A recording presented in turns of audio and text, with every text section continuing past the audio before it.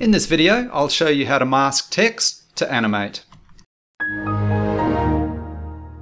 First thing, I'll delete the example out and display the new text example.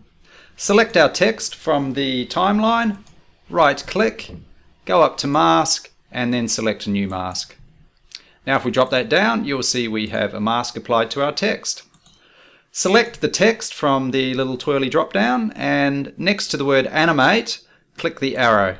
Now these are all the different things that you can animate. Uh, we want to select position. Now let's move our playhead back to the beginning of the timeline. Now what we want to do is add a keyframe for position. Now this needs to be position under this animator 1, not the actual position of the text.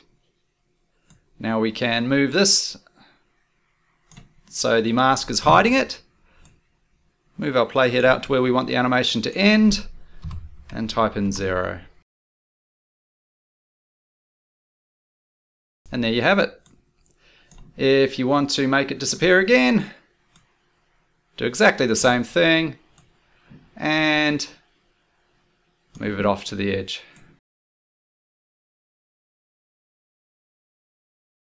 Like I said, just make sure that you are changing the position of the animator, not the position of the text, as that won't work.